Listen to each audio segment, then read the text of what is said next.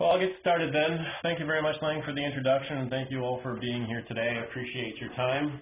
Um, and don't feel bad about the uh, time zone. I uh, just uh, had a son born to me about uh, five days ago, so whether it's 9 a.m. or 9 p.m. or 3 a.m., it doesn't really make a difference to me. I'm going to be exhausted anyways. So uh, hopefully I'll uh, be coherent enough to give this presentation. Um, in any case, this is an overview of what I plan to speak about uh, today. Uh, just briefly, I'll talk about who we are, who Savron is, and how it fits in with Geosyntec. I'll then go in to describe the science behind the technologies that we offer, which is smoldering combustion. Uh, I'll then talk about our solutions, uh, StarX and STAR, and how we typically apply these things. And then I'll move into some case studies. Uh, for StarX, I'll talk about two of our different systems, um, reactor systems and soil pile systems, which have uh, been developed with a partner in the oil and gas industry, um, focusing actually on some work we're doing uh, in Australia. Um, and then I'll go on to describe the in situ process, which we call STAR. And again, I'll use a case study uh, for a site in New Jersey for which we are currently conducting full-scale remediation.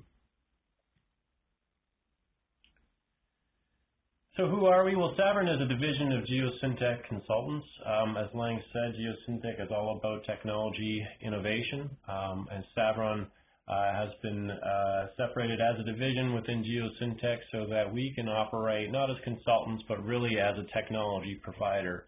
Uh, for your consulting needs, of course, uh, Lang is always there. Um, but we uh, identify ourselves separately because what we're all about is providing waste management remediation solutions, uh, and, and these solutions are based on smoldering combustion. In essence, Savron is there to provide the STAR and the STAR-X technology. So let's talk about smoldering combustion so we all have a good understanding of what this really is. Uh, as I mentioned, STAR and STAR-X are based on the principles of smoldering combustion. There, there are essentially two types of combustion, flaming combustion and smoldering combustion. And most people are more familiar with flaming combustion because that's what they see in their fireplace uh, or with a candle uh, when you see a, a, flame dancing above a fuel source. Uh, smoldering combustion is a fundamentally different process. And an example of this is when you have a charcoal briquette in your barbecue glowing red hot without flames. That is a smoldering combustion reaction. And the reason you have smoldering as opposed to flaming in that example is because you have a porous matrix uh, and a slow-burning uh, fuel. Um, the porous matrix that we have when we're applying STAR or STAR-X as a remediation solution is the contaminated soils that we are trying to remediate. Uh, in any case, uh, combustion reactions are exothermic reactions which simply convert carbon compounds to CO2 and water. And we typically describe combustion through the use of a combustion triangle. A combustion triangle essentially says these are the three things you need to have at the same place at the same time in order to get a combustion reaction to occur. Uh, the first thing you need is a fuel. Now for us, this is a simple thing. Uh, this is the contaminated soils that we're trying to remediate it. So it's to remediate. So this is the target of our remediation efforts. Uh, the second thing you need to bring into the combustion triangle is an oxidant. For us, we simply use the oxygen that naturally occurs in air. So we blow a lot of air around. We either inject it into the ground for STAR or we blow it in a reactor system for STAR-X. The third element we need in our combustion triangle is heat. Now, in order to get the process started, we supply that heat. For example, with the STAR process, we'll install a heater into an ignition well, and we'll, we'll turn that on for a period of time to get the combustion reaction going. But once the combustion reaction starts, recall it is an exothermic reaction. It gives off heat. And so once it's ignited, we end up using the heat of the combustion reaction to supply the heat element of the combustion triangle.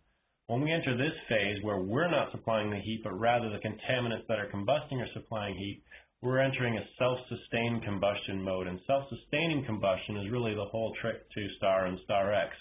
It's at this stage where we're not supplying external, external energy and we're making use of the energy inherent in the contaminants we're trying to destroy. Uh, so unlike other thermal technologies which rely on endothermic processes like pyrolysis and volatilization, for example, uh, which require energy input into the system, our process is exothermic, so we're making use of the energy that the contaminants have already. Well, this is a little video here which shows uh, smoldering combustion in action. This was a uh, column experiment which was taken by webcam uh, almost 10 years ago. Uh, just to set it up, you see the photograph on the left-hand side. It's a 10 centimeter diameter column with the, the black zone there is 15 centimeter uh, uh, packing of coal tar mixed with coarse sand. At the bottom of this uh, cylinder, uh, at the bottom of, sorry, the black uh, coal tar zone, we have a heating element and we have an air supply. The heating element is used to get the process started. The air supply is used throughout the process. So we have the fuel, which is the coal tar. We have the heating element uh, to supply heat initially. Combustion uh, provides it after it's started and the air supply supplies the oxygen. I'll press the video here and you can see the combustion reaction in action. Um, what you should be seeing on your screens, if it's working and not getting too much lag, is a band of purple light which is progressing up through uh, the contaminated soil pack. Uh, the band of uh, purple light is the combustion reaction, and you'll see it's relatively narrow um, and uh, and moves relatively quickly throughout the uh, um, throughout the video. Now this video has been accelerated 50 times, um, so obviously it goes a lot faster here than uh, what you see in the lab. Um, but it takes about 10 to 15 minutes to travel about 10 to 15 centimeters within a column experiment. So it's about a centimeter per minute is the rate of propagation, which is on the order of maybe a meter per day, give or take. Uh, and this slide shows photographs of what the soils typically look like when they come out of a column. On the left is the uh, material we put into the column, and on the right is a photograph of the soils after treatment. Um, this is an example of uh, the material we're actually treating at full scale in New Jersey, and that's the subject of the case study I'll be talking about uh, momentarily. Uh, but this level of transformation is typical of these types of experiments and also typical of what we see in the field. So our solutions, uh, we have two basic uh, modes of application, and that is STAR for in situ applications and STAR-X for ex situ applications. Uh, for the in situ application, uh, we're going after the contaminants where they exist, so we have to go and find them and apply, apply the elements of the combustion triangle to where the contaminants exist.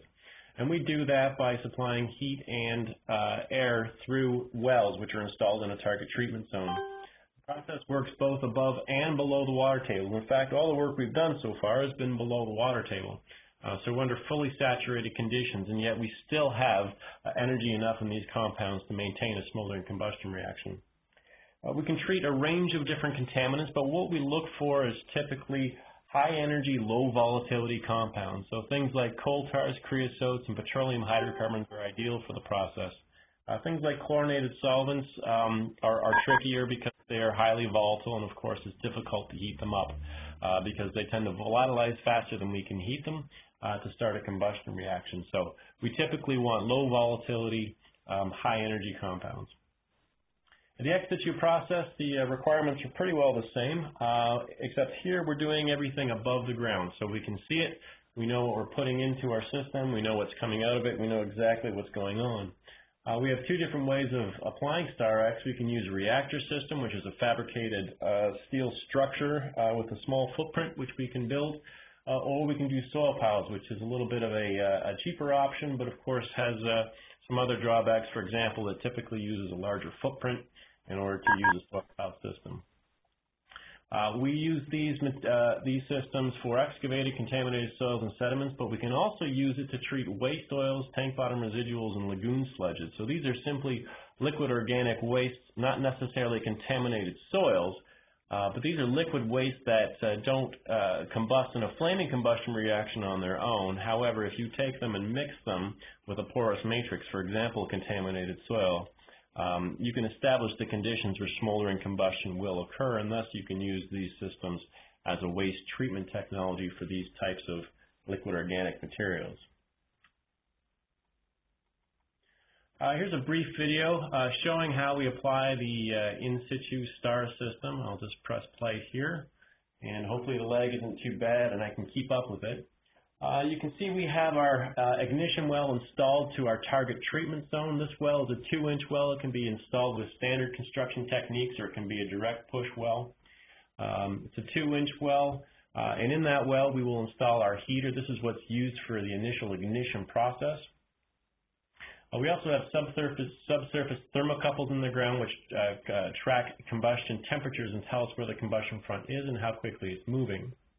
To get the process started, we start blowing air into the well past the heater which is operating. This carries hot air into the subsurface, raising the temperature of the contaminants to the ignition point. Once sufficient heat mass has actually entered the subsurface, we'll start to see combustion gases in our collected vapors at ground surface, CO and CO2. This tells us that combustion is occurring, and we can turn off our heating element because we know there's an exothermic reaction in the subsurface. At this point, all we're doing is blowing air into the subsurface. The heater's off, and we're simply blowing air into the ground, and our combustion reaction will propagate away from our point of ignition out towards a radius of influence. This radius of influence is typically a site-specific parameter uh, and is uh, somewhat governed by the equipment we have above ground uh, to carry out the process. Now, the above ground equipment we have is very similar to what you would see with an air sparge SVE system. We have compressors for air supply, and we have blowers to exert a vacuum on uh, shallow soil vapor extraction wells to collect our combustion gases. Uh, we typically collect CO and CO2 and measure these gases to estimate how much mass we are destroying in the subsurface.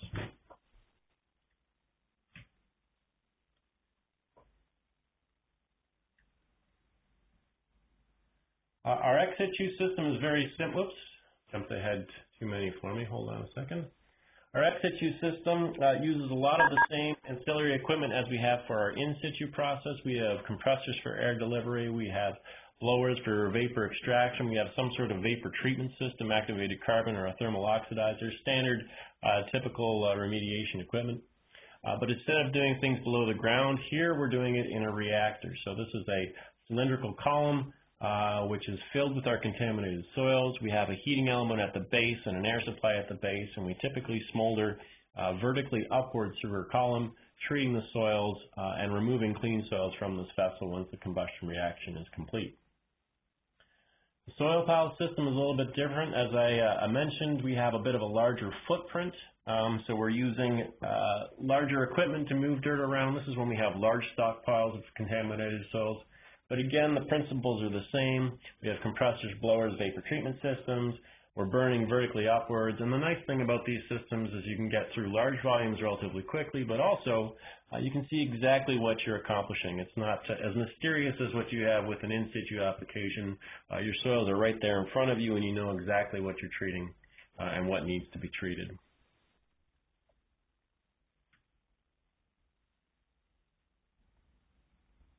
Okay, so let's uh, talk a little bit uh, more detail about StarX uh, and the development work we've done uh, with our partner in the oil and gas industry, uh, looking at reactor and soil pile systems. Most of the work we've done to date has been with reactors, but uh, we've started to do some more work recently with soil piles. the image in the bottom right should be familiar to all of you. If it's not, I'm a little concerned. Um, the subject site is a couple islands off the west coast of um, Australia, Barrow and Thevenard Island. Uh, here there's actually uh, two issues we're trying to deal with. One, there's uh, some land farm soils. So these are soils which have low levels of petroleum hydrocarbons which are sitting in a landfill basically not doing anything. Um, and then there's tank bottom residuals, so there's a liquid organic waste. Um, these land farm soils are contaminated, but not at a level where you typically look at doing a smoldering combustion reaction. However, if you take those land farm, uh, land farm soils and mix them with tank bottom residuals, you can uh, establish a mixture which is ideal for smoldering combustion. And you can actually solve two problems at once. We can clean up the soils and also destroy these tank bottom residuals so they don't have to be disposed in a different manner. As I said, we did a lot of development work uh, for this project. Uh, this is a photograph showing a couple of our reactor systems. The one on the left is what we call our intermediate scale reactor, and the one on the right is what we call our prototype reactor. The one on the right stands uh, uh approximately 7 meters tall from the ground to the very top. Uh, the actual uh, reactor volume where all the good stuff happens is 3 meters tall by 1 meter in diameter uh, has a heating element air supply at the bottom. And just like the schematic I showed earlier, we combust vertically up, uh, upwards through this reactor system. Uh, we've done a lot of work with these systems over the past 11 years, and this is, or sorry, not the past 11 years, since 2011, so the past four years or so. Uh, and what we're typically doing is uh, taking soils like we have on the left and making them look like they are on the right here.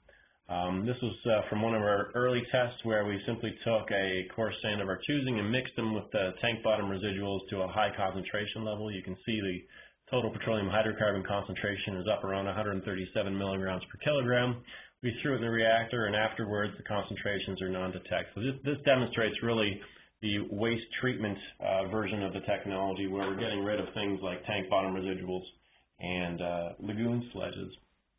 Of course, we're doing this at a relatively large scale, so the volume of clean soils after treatment is a little bit larger uh, than, uh, than uh, um, some of our other uh, lab-based experiments that we conduct. One of the key findings from this work uh, is demonstrated here in this plot, and uh, please excuse the units on the horizontal axis, airflow rate per mass of oil. Um, it's a uh, this graph is basically an interesting way of, of saying that there's a relationship between how hard you blow the air and how much mass of contaminants you put in the reactor in the first place. Uh, it's pretty intuitive, but the more mass you have in the system, the longer it takes to burn. Um, if you have a larger piece of wood, it'll take longer to burn than a small piece of wood. Same principle here. Uh, but also, the more air that you blow into the system, the faster it will burn. So we have a throttle essentially. We have the ability to control the rate of combustion. There's a variety of reasons why we might want to burn quickly or might want to burn a, a little bit slower.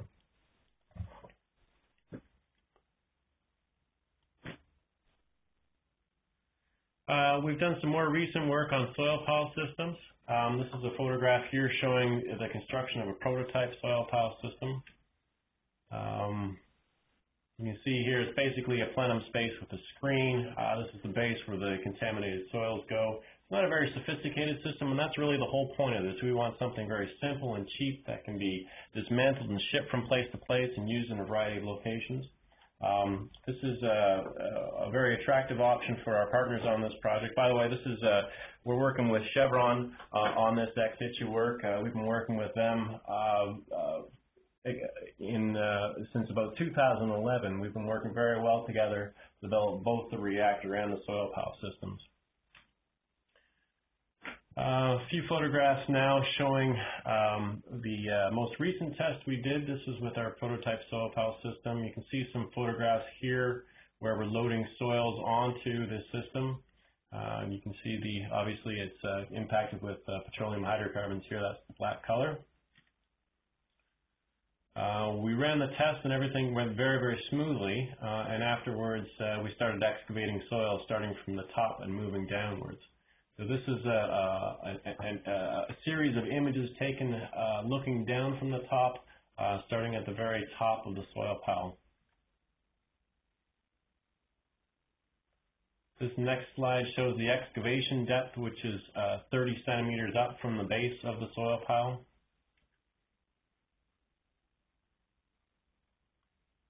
Second one, which is 20 centimeters up from the base. So this is right in the heart of contamination. So you can see that uh, we're getting very, very good treatment. The soils went in black here, and obviously they've been significantly uh, remediated by the process. Another photograph here, now 10 centimeters off the base of a reactor. Again, soils are very, very clean.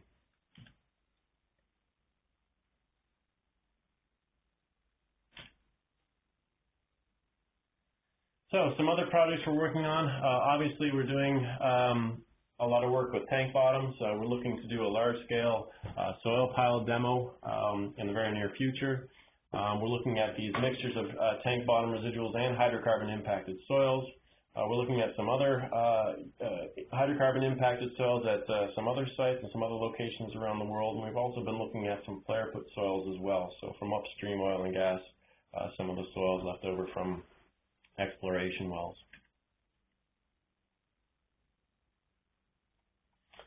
All right, let's move on to STARS. So this is the in-situ application, uh, and I'll talk to you about um, project we're carrying out in New Jersey. Um, this is an aerial photograph of the site here. It's a 15 hectare former manufacturing facility in Newark, New Jersey. Um, the site is highlighted in white and we're looking east towards the Passaic River. Uh, the contaminant here is coal tar. They basically took uh, coal tar from manufactured gas plants and repurposed it, uh, creating cresol and other chemicals and using it for road tars and things of that nature. Um, most of the coal tar is located on the western property boundary in a series of lagoons that ran along the western property boundary. Uh, but it did sink below the, the lagoons as well. Uh, and in total, there's about 42,000 cubic meters of uh, coal tar impacted soils at the site. Uh, this is a, uh, a, a cross-section showing the geology of the site. Um, there are three main units of interest for us. Uh, the, the superficial unit is a fill. Uh, it's approximately 10 feet thick, or about 3 to 3.5 meters thick, uh, right at ground surface. This is underlain by a peaty clay, uh, which they call the meadow mat in New Jersey. This was long thought to be a vertical barrier to DNAPL migration, but of course in the creation of the lagoons, they actually excavated the meadow mat where it was thinnest, creating an open, an open channel between the surf superficial fill unit and the fine sand unit, which is underlying the meadow mat. Um, so as you can see in this next slide, the contamination is in the superficial fill, primarily associated with lagoons, and then it's also below the meadow mat in that fine sand unit to a depth of about 10 to 12 meters below ground surface within that fine sand.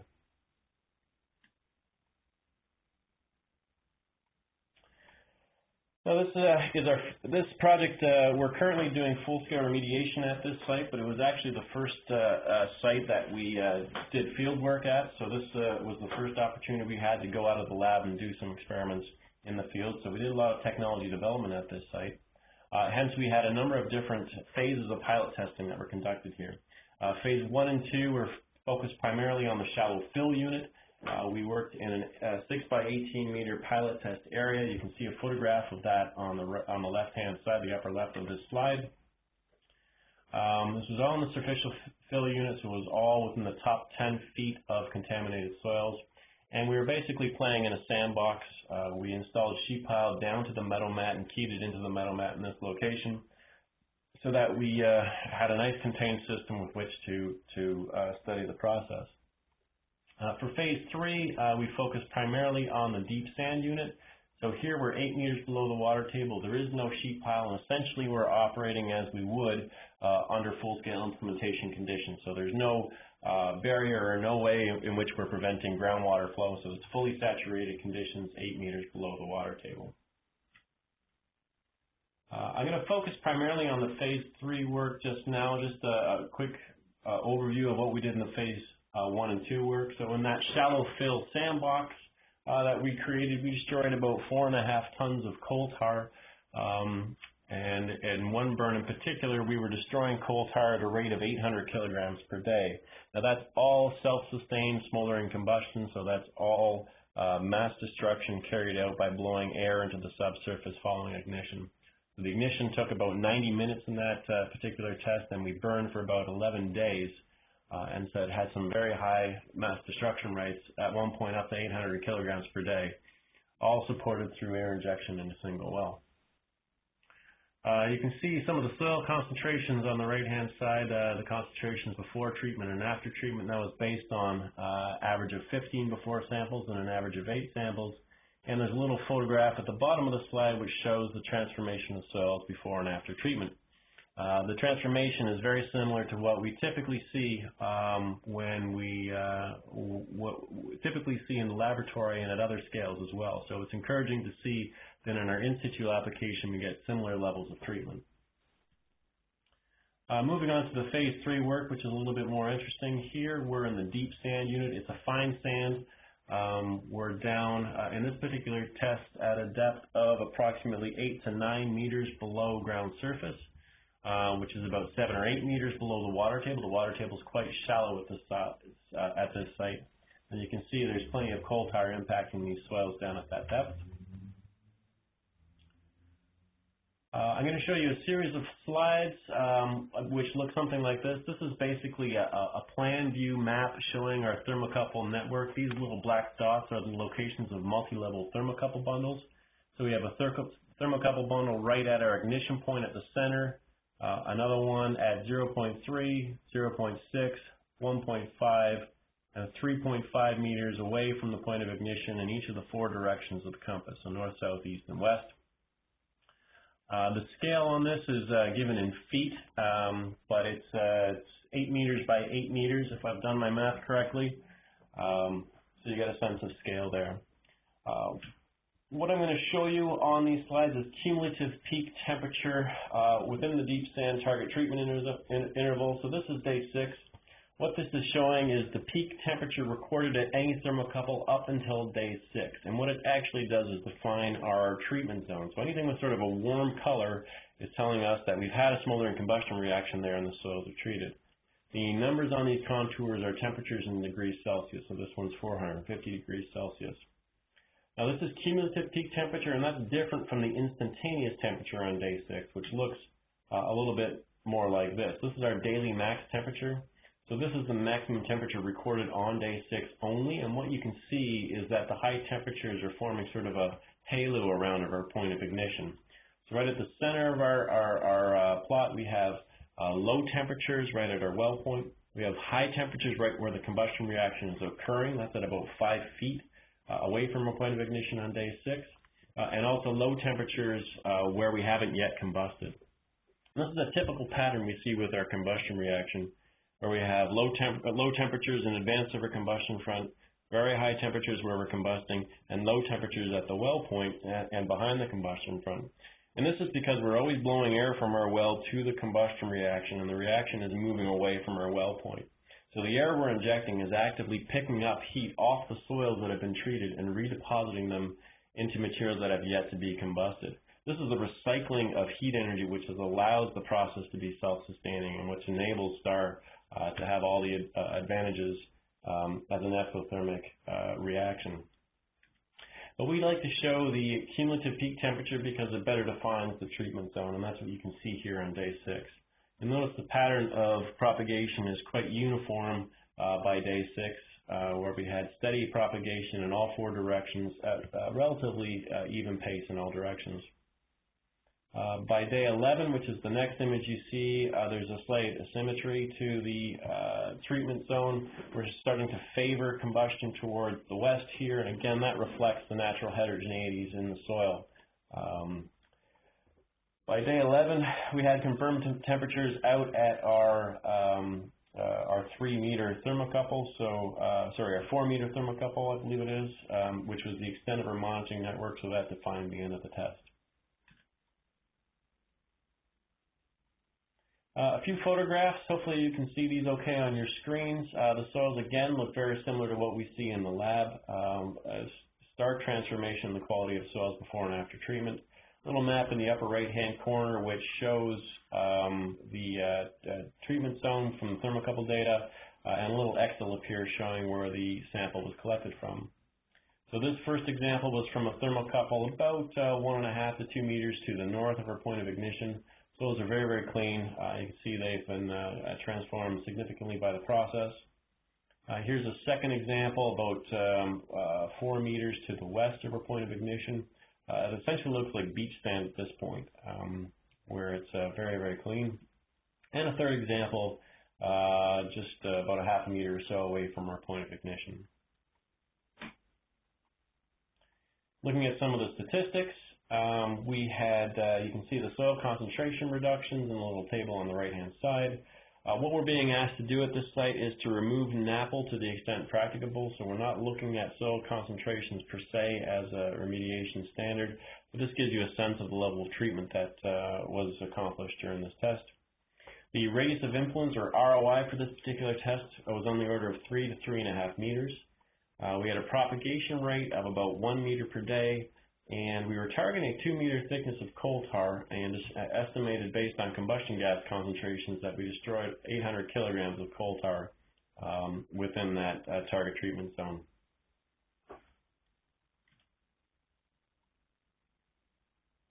Now let's move on to our uh, full-scale design strategy. Now as I mentioned, there's two primary uh, layers of concern for us. There's the shallow fill and the deep uh, sand. Uh, this map here is a plan view showing the uh, ignition points for our shallow fill unit. The grid on here is a 100-foot grid, uh, so about 30, 35 meters or so to a side, to get, give you a sense of scale.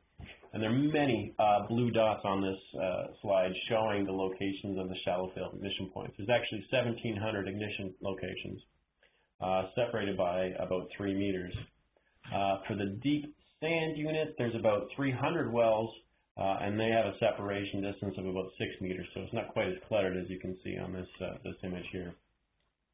So overall, there's about 2,000 wells, uh, and to operate this system, we've clustered our wells into different groups, and the size of these, this clustering is dictated by the utility requirements, the airflow and electrical requirements, um, and the availability of these utilities at the site. So for the shallow fill unit, we're going to be operating 20 wells at a time, so we have 20 well cells. Well, we cell is basically an operating unit. In the deep sand unit, we have six well cells. Uh, the other uh, way we uh, group our, our uh, system is to actually have nodes as well. So we have wells, which, which are the individual ignition points, cells, which are the groups of wells which are operated simultaneously, and then we have nodes. And these are locations where we're parking our treatment system. Uh, for example, this little rectangle here is location of node 3. Uh, from node 3, our treatment system can reach out 200 feet in all directions and treat all the wells within that radius. Um, once all the wells within that radius have been treated, we'll actually pick up our treatment system and move it on to the next node, um, and away we go. Now, 2,000 ignition points is a lot of wells, and certainly we don't want to install 2,000 well points and then go out and light them all uh, uh, after they're all in place. Uh, two reasons for that. One, uh, certainly it would be very expensive to install that kind of infrastructure, to install 2,000 well points in the ground. And also it would take a long time to install them all, and we don't want to wait around while they're being installed before we can start remediating. So what we're actually doing is uh, drilling and installing wells and operating it uh, simultaneously. And how it works like this. On any given day, uh, we will have just completed uh, operating at a given cell. So 20 wells within the shallow fill unit, for example, will be complete. Uh, they've been treated, and we'll be removing those wells from the subsurface for subsequent redeployment. Also on that day, we'll have another set of 20 wells, so another cell, which is undergoing operation. So we're actively burning uh, at this location. We're actively blowing into the air into the ground, and coal tar is being destroyed. Also on this day, we'll be installing a new set of 20 wells into the subsurface, getting ready for operation the next day. So for the shallow fill unit, we'll have 20 plus 20 plus 20 wells that are in play on any given day. Likewise, for the deep sand unit, we'll have 6 plus 6 plus 6 uh, wells that are in play on any given day. So overall, we have about 78 wells that we need to manage on a given day. And we'll use these 78 wells over and over and over again uh, to uh, uh, remediate at each of the 2,000 ignition points that we identified.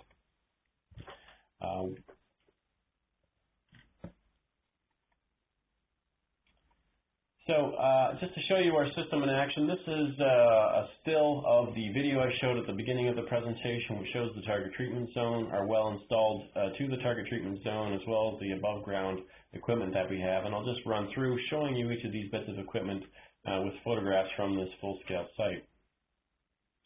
Uh, first things first, this is one of our in-well heaters. This is a portable heater, so again, uh, we don't need 2,000 of these things. We have a, a much smaller subset, and we reuse these heaters uh, at a variety of different locations uh, within our target treatment zone.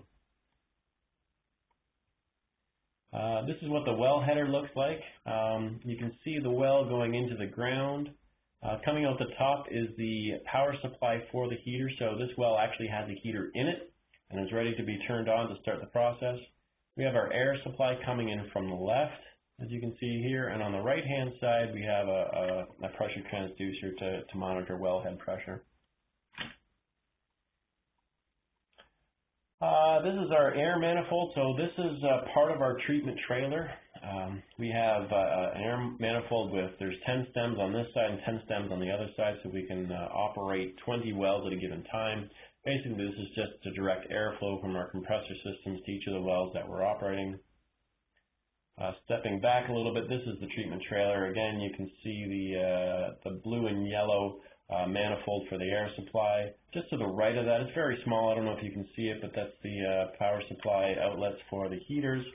And these uh, yellow uh, lines coming in here are for our vapor collection system. I'll show that in a little bit more detail right here. There it is. Uh, so we have a manifold. This orange thing up on the trailer is our uh, vapor collection manifold, and we have eight legs running out the shallow flow vapor extraction systems. They come to this combined header uh, where we analyze our combustion gases and then send the combined flow out to our vapor treatment system. Uh, for this site, uh, there's the uh, there's the ducting going out to our recuperative thermal oxidizer, which is what we're using for vapor treatment. Uh, and there's a photograph of our RTO um, sitting on site right there. So as an overview, this is basically what a cell looks like. This is one of our deep cells, so we have six operating wells. Uh, we have a number of thermocouples installed into the ground. Actually, this thing here in the bottom left in the foreground here, one of our multi-level thermocouple bundles, and the silver lines running back to this white trailer. Um, they're sending temperature data um, for us to monitor the process and the propagation of the combustion reaction. Again, these yellow lines are vapor collection, so these uh, silver elbows here coming out of the ground are our shallow flow vapor extraction wells. A lot of what we do for this is actually managing air. We blow air into the ground, we collect air and treat it at ground surface. So most of what we're doing is managing air. And it's very similar to an air sparge SVE system. We just happen to have a combustion reaction in between the air sparge and the SVE.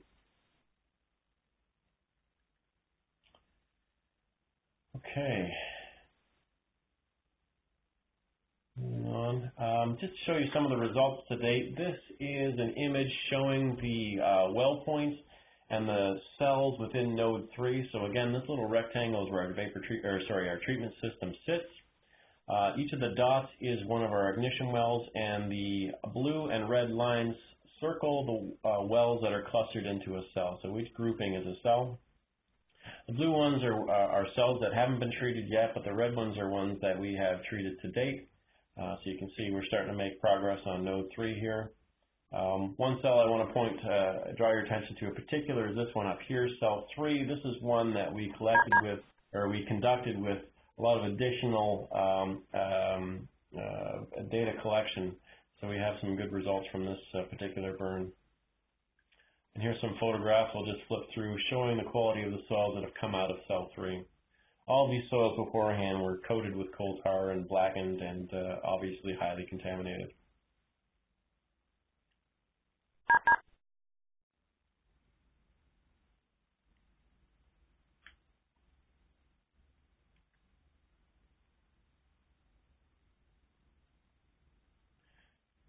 Target treatment zone over here was approximately 10 feet thick, so we have uh, cores from 25 to 30 and also from 20, uh, 30 to 35 feet below ground surface.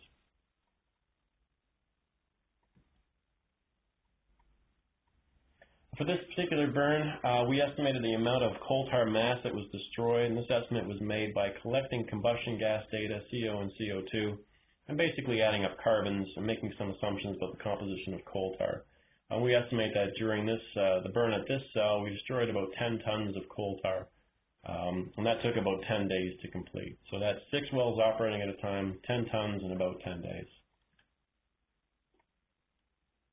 Uh, one other thing uh, that I want to touch on about the technology, uh, this is a carbon contribution network, which is a fancy way of uh, saying that this is sort of a look at the CO2 footprint of STAR versus some other technologies. Uh, on the left is STAR, uh, and it's being compared for CO2 footprint versus low temperature thermal desorption, and also versus excavation and offsite treatment, where that offsite treatment is thermal. Uh, you can see that the carbon footprint of STAR is about one-tenth that of low-temperature thermal and excavation and, and offsite treatment, and that includes direct CO2 emissions from the combustion process itself. Uh, that accounts for half of the carbon footprint for, uh, for STAR. Some other STAR projects that we're working on, obviously, uh, we're going ahead with a full-scale application at this site in New Jersey. Uh, we uh, seem to do a lot of work in the utility industry with manufactured gas plants or coke plants or things like that where we're dealing with coal tars. We did a couple pilot tests this past winter, one in Illinois and one in Michigan. Uh, we have a couple more projects uh, moving forward for this fall. One um, looking at a Navy special fuel oil at a Navy site in uh, along the eastern seaboard in the United States. And also we're looking at uh, uh, treating diesel range organics at a former refinery. Uh, and we have a number of other projects underway at various stages. Um, again, uh, we deal a lot with MGP sites as well, manufactured gas plant sites, as well as uh, former coke plants and things like that.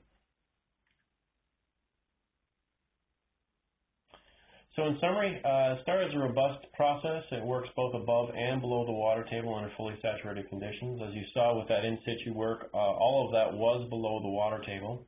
Um, as I mentioned, this is best suited for those uh, low volatility, high energy compounds such as coal tar, creosotes, and petroleum hydrocarbons.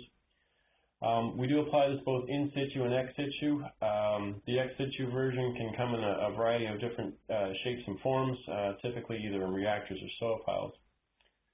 Uh, one of the things that I didn't get into a lot here is that this technology uh, is backed by uh, nearly a decade of world-class research uh, looking at smoldering combustion. We enjoy a very healthy relationship with the inventors of the technology um, and the, uh, the, primary researchers in this field. Um, so we have strong relationships with the University of Western Ontario in Canada, the University of Queensland in Australia, the University of Strathclyde, and the University of Edinburgh in the UK where they're doing a lot of research and have a very robust research program looking at smoldering combustion.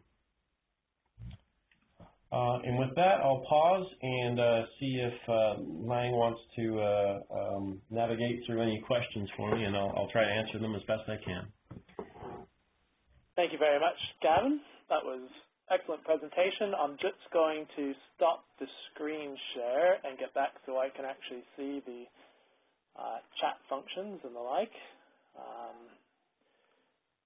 revoke all. Bear with me for just one moment. Okay, and there we go. So thanks again, Gavin. That was very interesting and always exciting to see a new technology on the market, and obviously some more opportunity to see uh, get some detail on that one at Cleanup 2015 for anyone who's attending.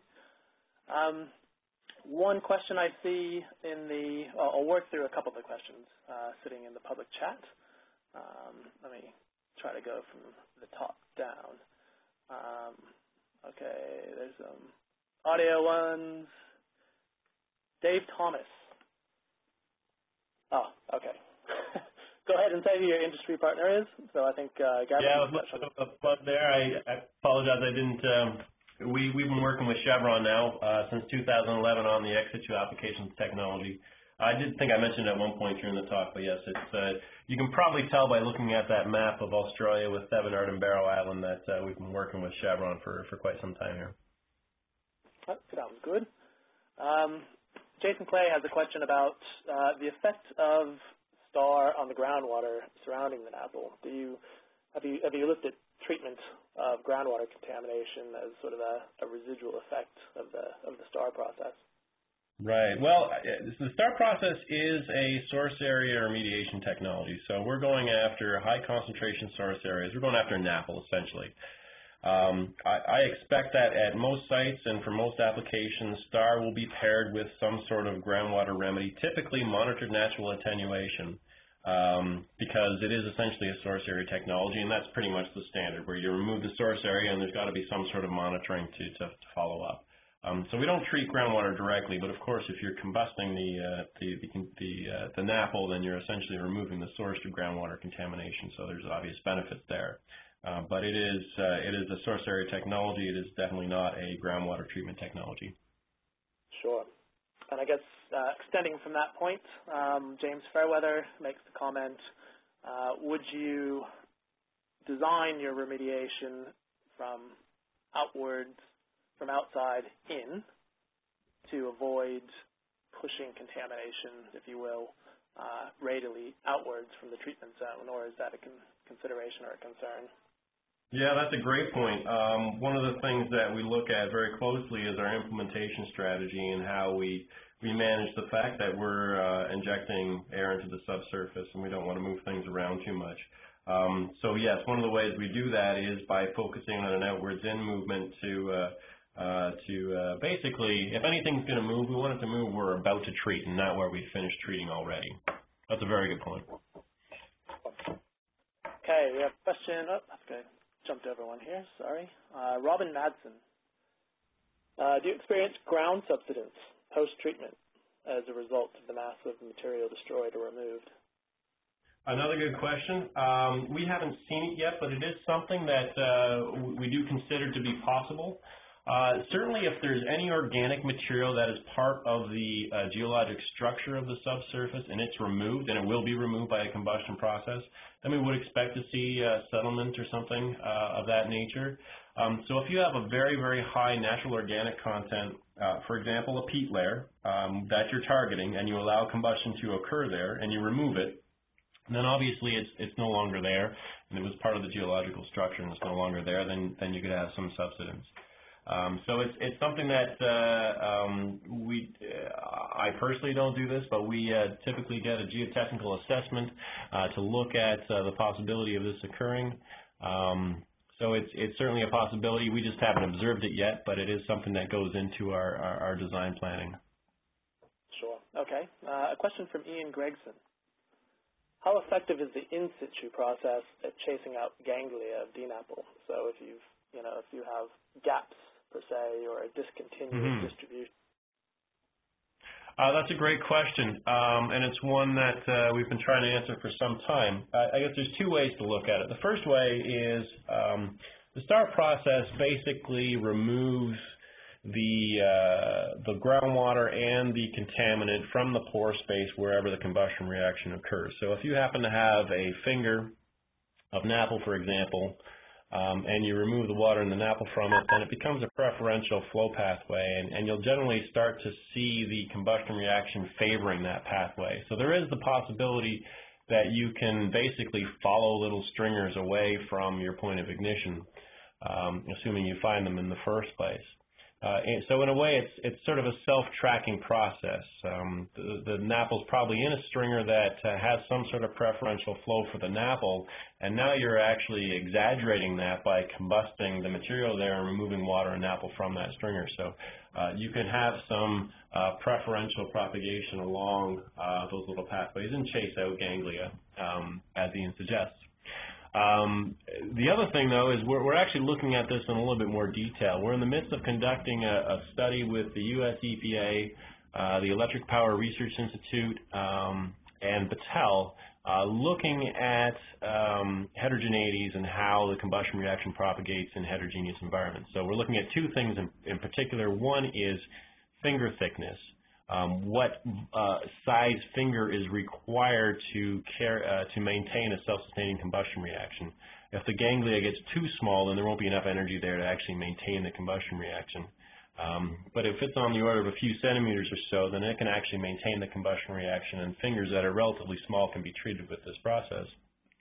The other aspect we're looking at is gap jumping, which is something that Lang mentioned. Uh, and that is when you have breaks in contamination, and if you can leap across those by transferring heat across clean zones and picking up the combustion reaction on the far side. So uh, we're doing a lot of work actually studying this um, with our university partners to look at it in more detail. Um, so that's uh, another way of uh, sort of answering that question. Sure. Okay. Uh, a couple of questions from uh, Peter Grin. Um, any issues based on limitations based on soil type, so sands versus clays? Absolutely. Um, so uh, obviously, we uh, our process requires us to deliver an oxidant to the combustion reaction, um, and so we need to have a, a, material that's permeable enough to to allow us to do that. Um, we typically burn quite well in anything from sort of silty sands to gravels. Um, if we get into clays, then it's simply too fine. Hopefully, there's not a lot of NAPL in the clay in the first place. Uh, but if there is clay, then uh, it limits our ability to inject air, and we can't combust in clay. So anything that's finer than a than a, a silty sand or a silt or whatnot, then then that that's not that's not the safe for star. Uh, on the other end of the spectrum, um, we do need a porous matrix. We do need to have um, a situation where smoldering combustion can occur. So if we have uh, materials that are too large, um, I guess an extreme would be a karst, for example then we're going to have large void spaces and large open spaces where we simply don't have the ability to maintain a smoldering combustion reaction. We lose heat, groundwater sloshes around, taking heat out of the system, and, and things just generally don't burn in that manner. Um, so we, we put an upper limit on it as well. Um, we can't do clays, they're too fine, and uh, we typically uh, burn up to gravels or, or small cobbles in that sort of range. Okay, sounds good. Uh, related to that, another question from Peter. What NAPL saturation levels would be the lower limit for smoldering to work? Another excellent question. Um, this uh, can vary by compound. Uh, it certainly does vary by compound. For the, the, the, compounds that we typically deal with, which are coal tars and creosotes, um, and some of the heavier petroleum hydrocarbons, uh, we typically look at total petroleum hydrocarbon concentrations, and we want to see concentrations on the order of about uh, 3 to 5,000 milligrams per kilogram um, which is lower lower than what you typically call a, an apple source area, I would think. Um, so there is a minimum concentration. If we go below that, we can burn it. It will combust, but it won't combust in a self-sustaining manner. You need that minimum concentration of about 5,000 milligrams per kilogram TPH so that the material will give off enough heat that the combustion reaction will maintain itself as long as you keep blowing air into the subsurface. Um, so that's a key number. Um, for other compounds, for light-end hydrocarbons like diesels, it's going to be higher than that. But for coal tars, creosotes, and some of the heavier hydrocarbons, that's typically the, the number, about 5,000 milligrams per kilogram TPH. Okay. Uh, a question from Norel Simmons. What's the smallest operational working footprint required to operate a system? We have limited space due to our active operations. Right. Um, well, I think you saw from that photograph I presented of our operational system the uh, the size of the equipment we typically use. Now, that's a wide open site, so we weren't trying to make anything compact there. Um, we obviously uh, we need access for our rigs. We need to install wells. We need to install thermocouples, so we need to be able to drive a rig around. Um, and then most of what we have after that is various lines and piping and ducting and whatever moving from our wells to a treatment trailer. And that, that can go to um, uh, pretty much anywhere it needs to be, we can run our lines. Um, so, you know, it's, it's a little difficult to answer that question because the size of the equipment as well is going to be dictated by the um, by the number of wells you're operating at a time. For example, the, in that photograph, uh, we're set up to be blowing 1,000 SCFM into the ground and to be extracting 3,000 SCFM out of the ground and that's because we're trying to burn as many wells as we can at a given time. But if we did it one well at a time, we'd have much, much smaller equipment that we'll be using, and it wouldn't take up nearly the, the same footprint that, that the system you saw uh, does. Um, so it does vary uh, on, on how we want to operate the system, um, but um, I, hopefully you saw from those photographs the size of equipment that we typically use without constraints, and if there are constraints, we'd have to find a way to work around that. Sure. Okay. Question from Ben Schultz. Um, do you generate undesirable chemicals as a result of combustion, such as dioxins? Uh, that's another good question. Um, we, in order to generate dioxins, you need to be operating at the right temperatures. You need to have the right chlorinated precursors in order to create those types of things. Um, again, looking primarily at coal tars and creosotes, we simply don't have the right compounds present in order to to, uh, to create dioxins and furans.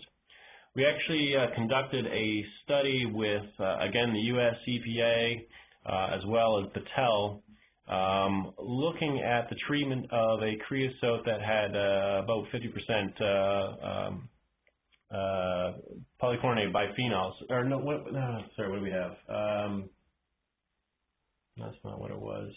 pentachlorophenol. That's what we have in creosote. Pentachlorophenol. Um, so there were chlorinated compounds, not necessarily what you'd expect to be the precursors for dioxins and furans, but what we did was conducted a study to look specifically for their formation. Um, and what Battelle concluded from that was that um, the concentrations of furans in the soil after treatment were actually lower than what were there beforehand, before STAR was even involved or any heating had taken place. Uh, so the concentrations were lower, and they didn't detect them in the vapors that were collected. So uh, it, it's unlikely that they're formed. Um, and certainly the temperatures we typically deal with are in the range that are, are, are high enough to actually destroy these compounds typically. Um, so I, I won't say that it's impossible, uh, and I think if we tried to treat certain, uh, you know, uh, pesticides or something like that, there'd be a possibility for it. Uh, but for the compounds that we're typically looking at, coal tars, fuels, petroleum hydrocarbons, um, it's very unlikely to happen, and we certainly haven't seen it thus far. Sure. Uh, another question from Peter. Would you avoid using it in or close to coal seams? And I guess for context, there was in the news um, in Victoria, uh, there was issues with uncontrolled um, coal seam fires uh, affecting um, certain areas, and you know something that a lot of public awareness and concern about. Right, that's a good question. Um, certainly, uh, um, overcoming uh, concerns of the public in a situation like that is going to be a challenge. Um, you know, I guess the, the primary difference between those situations and ours is that we're doing this on purpose and, and, and we're, we're igniting intentionally and we have the ability to monitor and control. And one of the things we do or can do is actually isolate our treatment zone and put physical barriers in place, for example, a slurry wall or a sheet pile or something to actually prevent the combustion reaction from moving beyond where we want it to occur. Um, we do have the ability to to absolutely control the process with our airflow. Um, certainly turning off the air uh, turns off the supply of oxygen, which can stop the reaction. And we're below the water table. Not only do we stop the reaction, but we stop putting pressure uh, on the groundwater and the subsurface, and it can come back in and actually uh, snuff out the reaction. The, the groundwater can flow back in and actually remove heat energy. Um, so you can remove two legs of the combustion triangle, both the oxidant and the heat, um, when you turn off your air supply below the water table. Um, so it's one of those situations that would obviously have to be looked at very, very carefully. Um, engineering controls can be put in place, um, but uh, I think it all comes down to proper design and understanding uh, where you're going to be operating in the subsurface. Sure. Okay. Uh, question from James Stenning. Have you evaluated connectivity of aquifers post-treatment? For example, if you had combusted peaty material as part of the process that may have been acting as an aquitard between two layers? Um, no, we haven't. Uh, we haven't looked at that in any way. Um, I don't think. Well, certainly, if there's a, a, a peaty layer which we allowed to combust, we would actually remove it. So I, that would absolutely improve the connectivity between the layer above and below. Um, as far as the rest of the process goes, I mean, um, it's it's a bit of a hypothetical situation at this point. Um, you know, we'll we'd be removing um, the organic material between the layers, but if it's a significant divide, a, a significant um, impediment to uh, you know hydraulic flow from one layer to the next, then it's likely to be of a fine grain nature and likely to be something that we can't combust in. Um, so if you have a clay layer in between um, two aquifers, for example, we're probably not going to combust in that layer or affect it in any way, shape, or form anyways. Um, if it's a if it's a peat, for example, and we do allow it to combust in that peat layer and we remove it, then I, certainly there'd be some effect on the connectivity. Um, but I think that's a that's a, a site-specific thing that we'd have to look at in more detail. But uh, um, it's certainly a possibility if uh, basically you need to remember essentially that what we're doing is we're removing organic matter with this process, whether it's natural or not. Sure. Okay. Uh, another question from Ian Gregson. In the ex situ pile, was the black around the edge untreated residue? That was the sort of. oh, I see that uh, I see that Dave Thomas uh, followed up with an answer. Dave Thomas uh, is uh, has been working with us on this project, so he knows it very, very well. Um, so he uh, his answer, if you can read that there, is is absolutely correct. So basically, what we did is we we piled uh, the material on the screen and around it as well. So we weren't trying to keep it just above the screened area, but it also spilled out over the edges. Again, this is uh, all part of us um, seeing how much treatment we can get outside the screened edges, and also uh, trying to make this, the system as simple as possible. This is not necessarily how we would operate at full scale, and we might uh, make other uh, choices as to how we uh, uh, apply our contaminated materials to the top of our soil pile system. But that was what you're looking at, essentially, that we had our uh, screened area where we had complete treatment where we were trying to treat, and then there was a fringe around that where we weren't really trying to combust. Sure. Okay. Um, the million dollar question from Emmylou Cook. What is an expected cost per cubic meter of treated soil? Okay. Um, well, for our ex situ, uh, for our in situ application, rather, um, this is where we have the most data on this sort of thing. Um, it's very difficult to give a unit cost, uh, particularly with uh, prices changing from location to location uh, for, uh, around the world. Um, what we typically do is compare our costs with other technologies that are typically used for the compounds that we're interested in, coal tars, creosotes, petroleum hydrocarbons. Um, and, and, again, there's tons of caveats you can put on this because uh, obviously there's going to be some situations where digging things out of the ground, if it's so shallow, is, is obviously the, the, the, the way to go and things are going to be cheaper there. But I'd say for any, any application where you're looking at a site and you think, wouldn't it be nice to have an in situ remedy as opposed to digging this out of the ground? And that's where STAR might be applicable. Uh, and in those types of situations, we've found that the, the cost for uh, in situ treatment via STAR is about half the cost of what it is for excavation and disposal. Again, it's going to vary from location to location. Uh, different geographies are different. Um, but uh, certainly in, in the northeastern United States, where most of our experiences, we've found that to be true. That STAR is about 50% the cost of dig and haul. Um, if you're looking at in situ stabilization or solidification as an alternative, the cost there are a little bit closer. Uh, we think that starts probably about 75 to 80% of the cost of ISS. Uh, and then also if you're looking at an in situ thermal remedy like a thermal desorption where it's an endothermic uh, remedy, what we typically look at is the cost for the electricity used in those systems because that's really the fundamental difference between the two is that for in situ thermal desorption you're basically pumping electricity in the ground for months on end whereas with our process um, you know, we, we, we, to get an ignition, it costs about 40 cents worth of electricity, this type of thing. So um, it's really the electrical demand which is the primary difference. Um, my research suggests that the electrical component uh, of the cost is about 30% of the overall cost for in situ thermal desorption, but I've heard that can vary a lot, um, and in some cases it can be a lot more than that. So typically we say it's on the order of about uh, the cost of STAR is about 75% or so uh, of in situ thermal desorption. Okay, looks like we have one last question. Thanks everyone for your interest in hanging in there. Um, from Ian Gregson, what level of site characterization is typically required prior to in situ STAR? And I guess for a little hmm. bit of hmm. context, we, I believe right now the first project to use a, a Targost um, direct push tool system uh, is currently underway in Australia. We haven't actually had the equipment in Australia that would be typically used for that high-resolution characterization of coal tar DNAPLs. Um, what, what, would, what would be your thoughts on that? Well, I'm glad you mentioned that. Uh, I wasn't aware, but uh, I was going to bring up Targost, the TarGreen optical screening tool from the Dakota Technologies, at least in North America, um, which is an excellent tool uh, we found um, for helping design star systems in particular. Um, we can set up Targost grids to match our star grids so that we know exactly at each location where we're trying to burn at what depth we need to place our screen. Um, and it's quick and it's relatively inexpensive and I think it's a fantastic tool. Uh, we're actually using it um, as part of our full-scale uh, remedy out in New Jersey uh, where we're using it uh, for both pre and post characterization. We're just starting to get into that a little bit more. Um, I think that's a terrific tool. Uh, in general, it's, I guess it's sort of a philosophical question. Uh, the more site characterization, the better. Um, uh, and you can say that about any in situ remedy. The key for us is we, we simply need to know where to put our ignition well.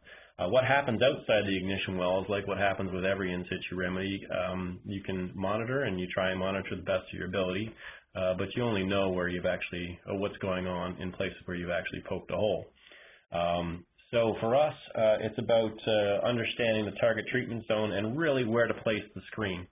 Uh, if you have like a, a, a, clay aquitard or something which is a bottom boundary, uh, then it becomes very simple to place your screen. But if you're at like our site in New Jersey where we have a fine sand and there's very subtle differences in the geology which are dictating the, the, the layering of the coal tar, then we need something like a Targost to tell us where it is uh, so that we can put our screen in the right place.